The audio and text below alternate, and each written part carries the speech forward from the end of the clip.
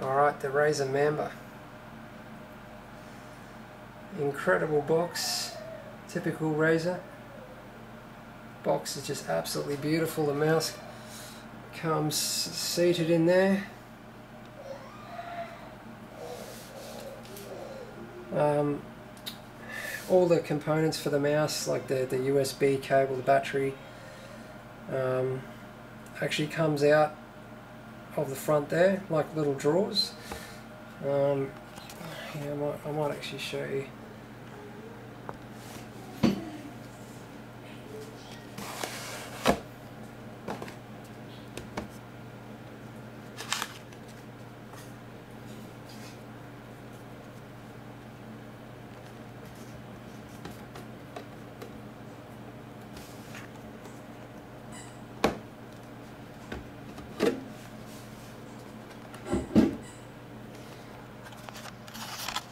Okay, sorry about that. So here we go.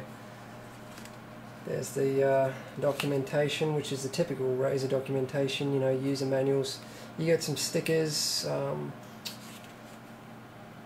product catalogue, etc. So here we go. Um, the bottom holds the battery. Uh, I'm pretty sure. So they just come out like that and open at the top. Um, Yep, there's another one there, and another one at the top for the USB cable.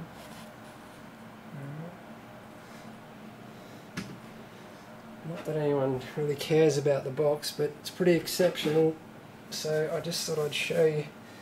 I was pretty impressed.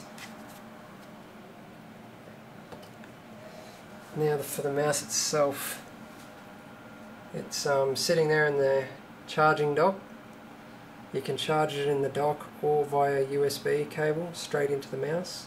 The charging dock light um, pulses on and off as you can see when it's charging. When it's fully charged it stays on I'm pretty sure. Um, as you can see the mouse wheel glows blue.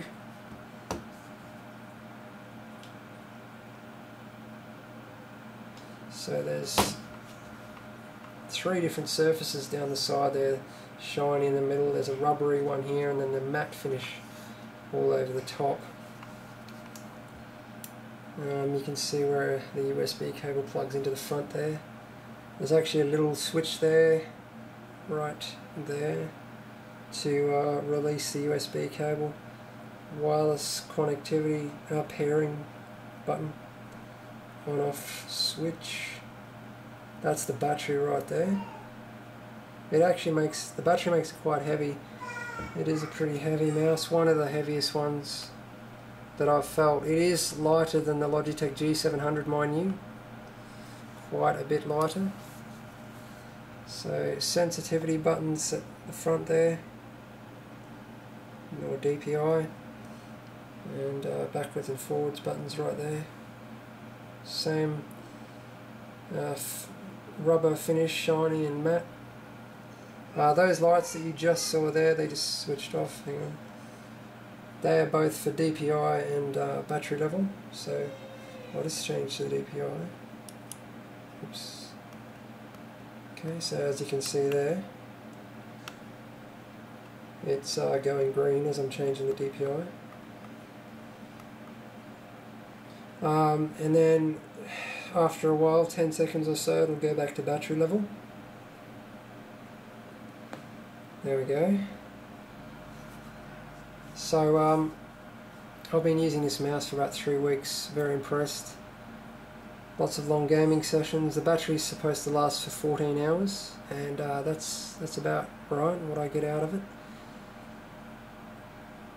Um, and I've, I've played with the USB cable plugged in and wirelessly and it's exactly the same. Seriously no difference no noticeable difference at all. Both is a 1 millisecond response time 5600 DPI absolutely awesome mouse um, considering they can get that high performance wirelessly.